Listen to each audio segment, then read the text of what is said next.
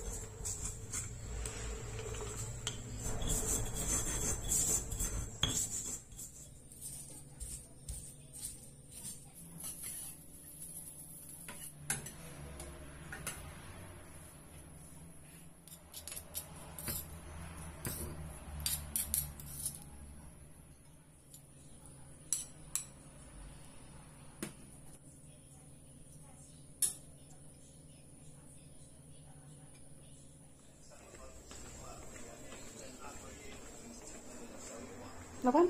Ini kecil.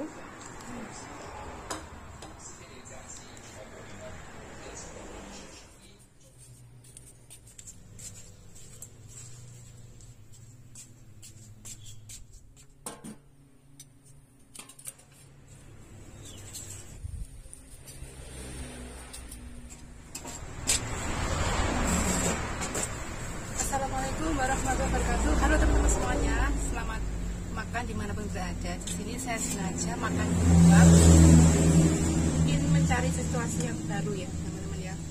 Ini tadi tadi itu menunya nanti siang atau nanti malam itu tadi ada ayam, ayam namanya mayuji ya teman-teman ya. Jadi yang masak itu ama itu enak banget ya. Sebenarnya itu dimakan sama mie, tapi karena kemarin tuh masih ada nasi dan juga ada sayur jadi saya buat aja sambal Bismillahirrahmanirrahim sambil cerita sambil makan ya teman-teman ya. Ini lakukan tadi lihat TV di dalam jadi saya sengaja buat video di luar Bismillahirrahmanirrahim.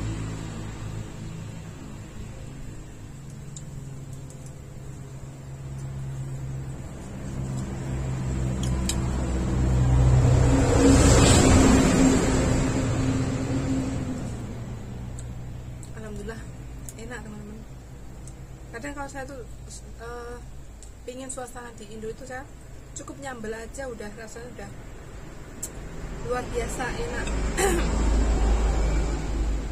Jadi ini, kemarin nasi sisa kemarin ikan sisa kemarin. Harus habis sih teman-teman ya. Kalau di kulkas banyak makanan sisa itu kadang nenek marah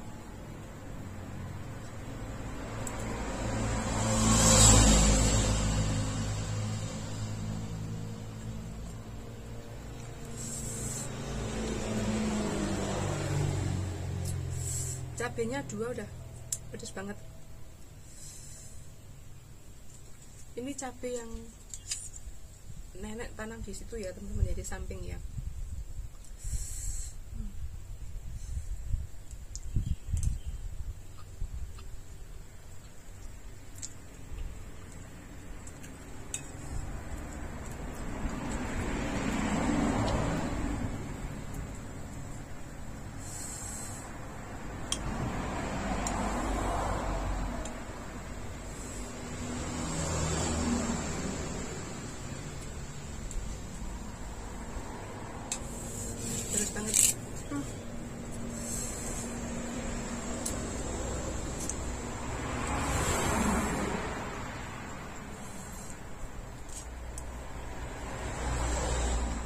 P2 apa disepakati?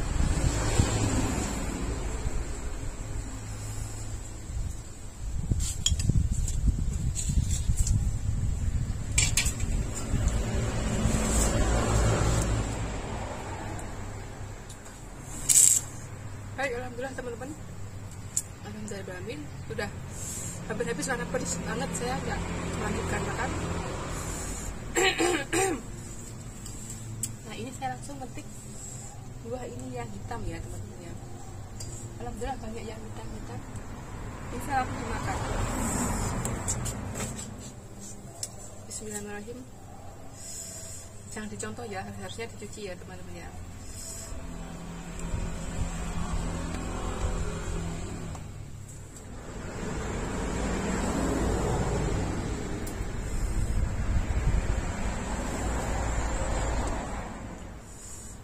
sebentar ya teman-teman ya oke lanjut ya teman-teman ya saya ambil minum Bismillahirrahmanirrahim.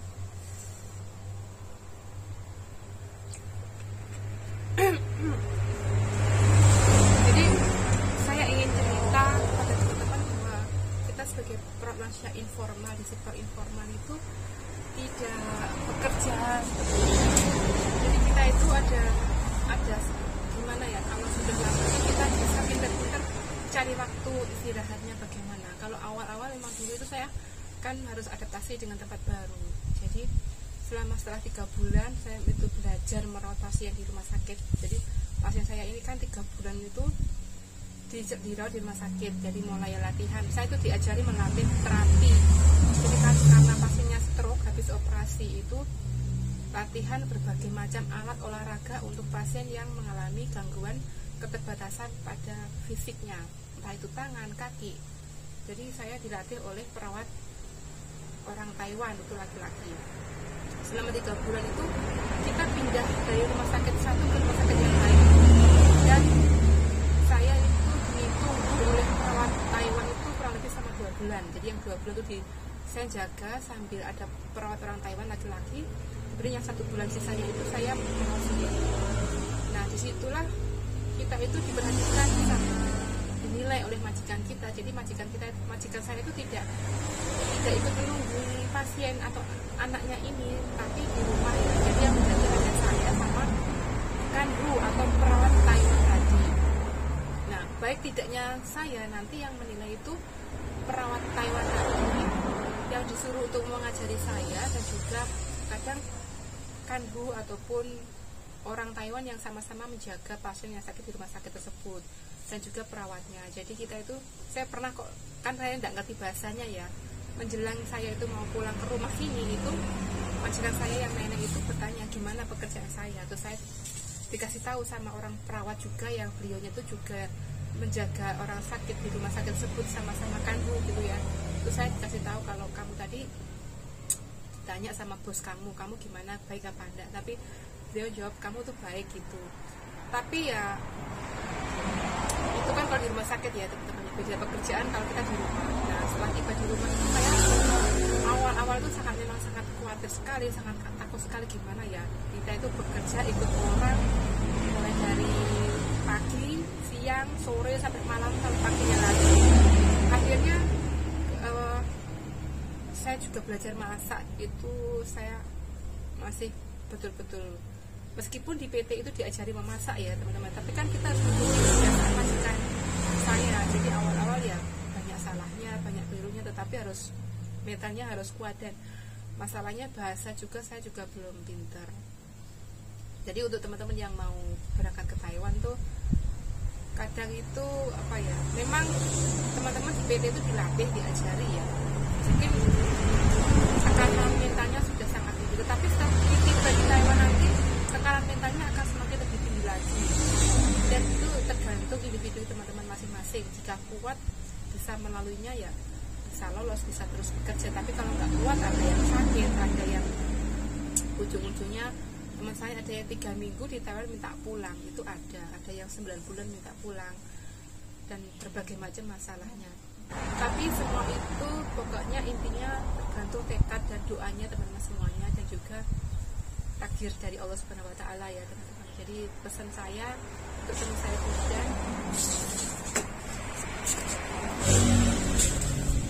saya tinggal melihat pasien saya masih nggak TV jadi untuk teman saya Bidan yang mau berangkat ke Taiwan terus kan bekerja sebagai tenaga kerja wanita entah itu sektor informal maupun formal itu yang pertama itu harus harus betul-betul doanya harus kuat harus kenceng surat istiqoroh surat hajat. Semoga hajat dan keinginannya ini dapat tercapai ya.